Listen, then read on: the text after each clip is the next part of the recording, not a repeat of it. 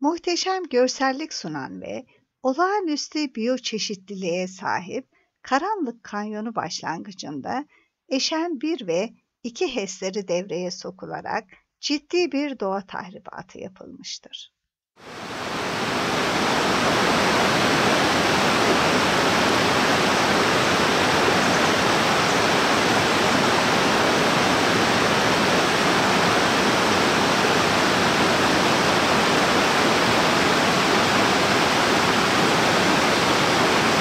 Eşen Çayı, Kısantos, Muğla-Antalya sınırını oluşturan akarsudur.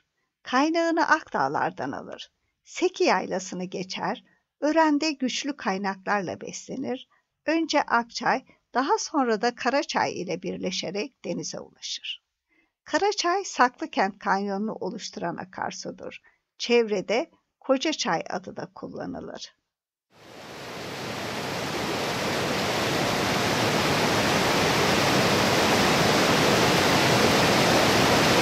Kemer ilçe merkezinin ortasından geçen akarsuyun antik adı Kısantos'tur.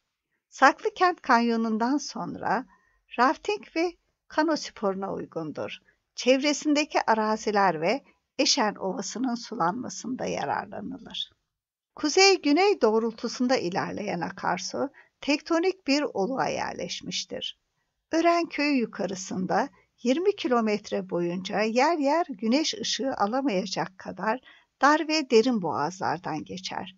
Çağlayanların sıralandığı bu alana çevrede karanlık içi denilir. Bu boğazda çeşitli kaynaklar ve dereler ile beslenen çay nehir görünümü alır. Eşen çayının antik adı Kısantos sarı anlamındadır. Kaynak alanında berrak olan akarsu aldığı alüvyonlar ile sarı bir renk alır. Denize yakın alanlar kumullar ile kaplı alandan menderesler çizerek geçer.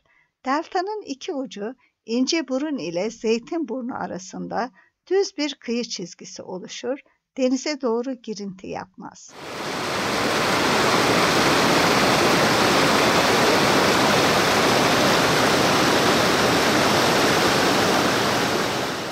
Eşen çayı aynı zamanda Fethiye ile Kaş ilçe sınırını çizer. Akarsu üzerinde bulunan Eşen 1 ve 2 HES tesisleri ile elektrik üretilir. Ören sahası tarihi ve doğal güzelliklerinin yanı sıra bölge ekonomisine çok büyük katkılar yapar.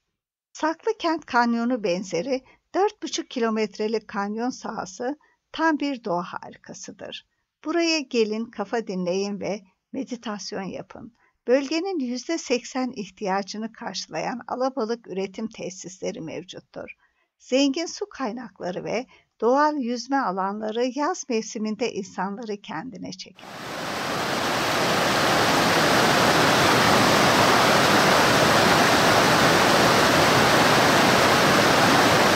Kanyonun 5 kilometrelik bölümü doğa gezginleri için yürüyüş yapabilecekleri güzellikte bir rota içeriyor. Kanyona 870 metrelik bir geçitte yükselip daha sonra kanyon manzarası eşliğinde 400 metrede santrale kadar araç ile inilebiliyor.